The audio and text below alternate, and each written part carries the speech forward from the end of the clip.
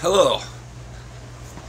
I'm coming at you today with the living room review because uh, the house is empty in the daytimes now. We got some Lemmy Lemon Vuitton number 36. Now we've done Lemon Vuitton on this channel before, but unfortunately when I watched the review again, it was a very short review. The kids killed my battery playing Roblox, so I had to like hurry through it. What I remember about that one is it was very citrusy and it was very sticky and it was covered in trichomes. That's about really all I can remember. I remember I liked it, but that was Louis Vuitton regular, Lemon Vuitton regular. This is Lemon Vuitton number 36. Obviously, I can't find anything out about this online. When I type it into Google, it just shows me who's selling it near me. It doesn't tell me anything about the strain lineage, which means it must be pretty new. If Leafly hasn't got a hold of it yet. This stuff is very, very, very white. It is like, I don't know if it's purple under there, but the outside of it is like extremely white, frosty. In an inch that isn't covered in some kind of sticky hair or trichome. It's a little purple under under all that, but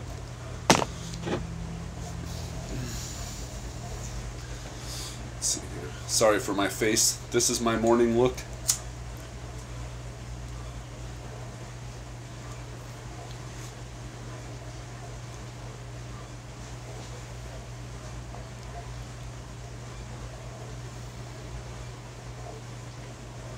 I know I say lemon lime a lot on here.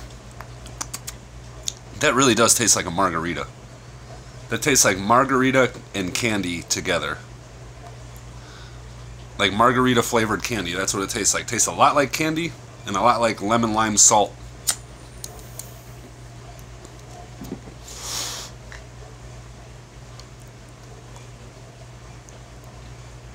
That's one of the better tasting baselines that I've had from over there and this is surprisingly a baseline, even though it's clocking in at 20% THC and it's super frosty. they are little guys, though. I wonder why they get down to the real small popcorns, they can start giving out the top shelf for lower prices. This stuff tastes great.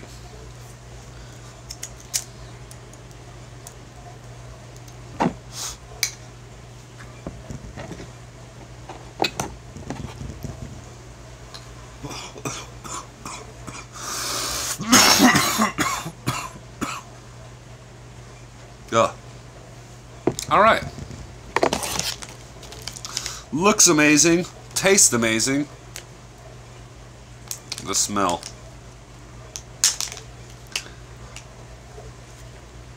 Woo. It tastes like straight up Windex. Windex, that's what I got for you. Straight cleaning fluid, cleaning supplies in a good way.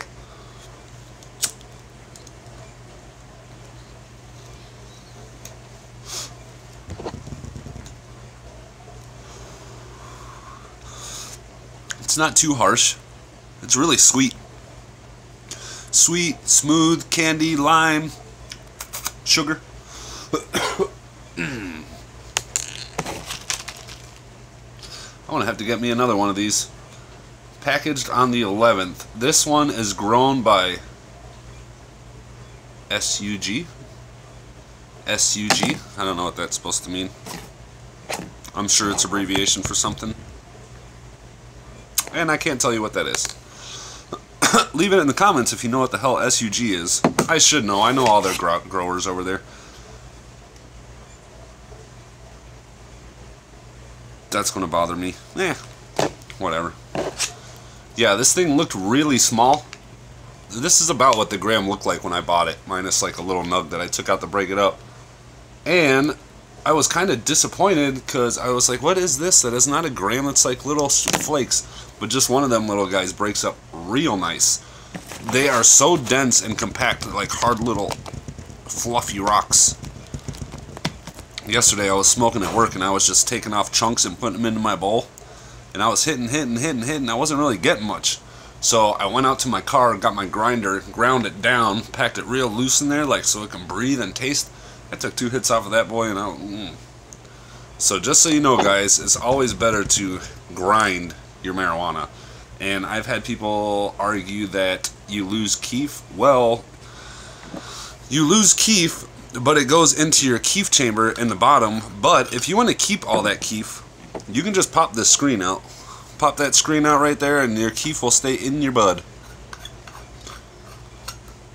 Oh, and if you guys want to know all this keef on the sides and it's stuck in here, and you got keef in these crevices and grooves and all along the bottom here, what you want to do is put a nickel right on top of your screen. I like a nickel because they're big and heavy. And then I'll put my top on. I'll freeze it for about 5 to 10 minutes. You take it out and then you shake it up like a can of spray paint. And those crystals are all going to fall off. You'll get a nice little bowl pack in the bottom here. They don't stick well to metal when they're frozen.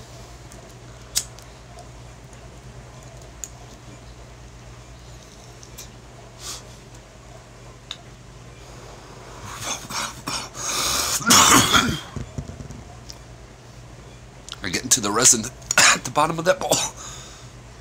Oh man, you guys seen me? I bought this thing like a week ago. It's already, it's been used 20 to 50 times.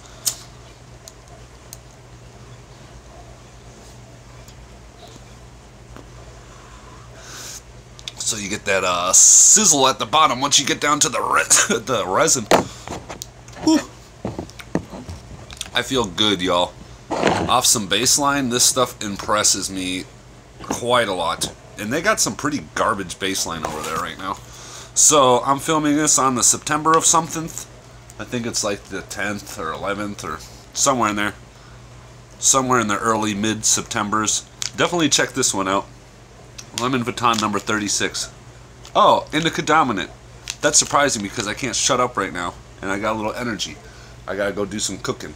You guys do not want to see my kitchen. You will probably never get a tour of this house because it is terrible. It is terrible. We got three kids living here. It's me, my wife, three kids. Oh, here. That's the boys' room. He stays back there, and all of his stuff spills out into the hallway. Got the computer area. I filled a couple videos over there. We'll just skip past that kitchen. Storage this is all of our stuff from storage. We moved here from Arizona, and this was all in Wisconsin in a storage unit, but we got a pods and got it up here. That's where we stacked it. Just clothes everywhere, stuff, maps, whatnot. That's where all the magic happens back there. It goes to my room. That is the tour of the apartment. I don't know where I had this, something like this. Something like that. Yeah, you will never see any bathrooms, kids' rooms. It's terrible. It's This house really is a mess. And sorry if you saw my carpets, but we've been living here for six years. Cats puking, Kool-Aid spilling, all kinds of shit going down. Taki's getting stepped on. So yeah, this stuff is very good. Cottonmouth sets in quick. Red eye set in quick. There's no paranoia at all because I got hours till I got to do anything. I do got to feed my little kittens. I'll give you guys the kittens on the next smoke video, but they're sleeping, and when they're asleep, please let them sleep. I will let them sleep until they cry. Then I got to bottle feed them, hand burp them, take them to the sink, run them underwater. I got to massage their little butts till they poop. I'm peeing these little things, so. I am now a foster parent to newborn kittens. It ain't nothing I'm new to. I've had a cat since I I've never not not had a cat. Alive 35 years on this earth. My mother's always had a cat. When I moved to South Carolina, my dad had a cat. When I moved back to my mom's house, she had a new cat. And I moved to my brother's, he had multiple cats. I moved to my friend Aaron's. He didn't have a cat, but he was gay, and neither of us were ever home. So that would have been a good place for a cat. I'm not saying gay people do anything to cats, but he just wasn't into cats like that. Yeah, and then I, we moved to my brother's new house, got more cats, moved to Arizona. I was living in a room for rent had an old cat, senior cat I had to take care of. I couldn't really see. Then I got this apartment. We immediately got a cat. Then we got another cat. We got two of them. Now we got four cats. So I've had them in all shapes, sizes, colors, thicknesses, temperaments. I don't know why I'm talking about cats. That's how high this week's going to get you. It's going to get you talkative, creative, cottonmouth setting in.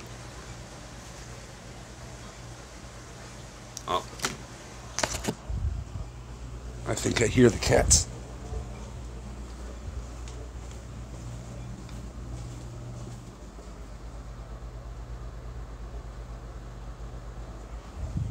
No, I don't. That was the sound of my dishwasher going shink, shink, shink.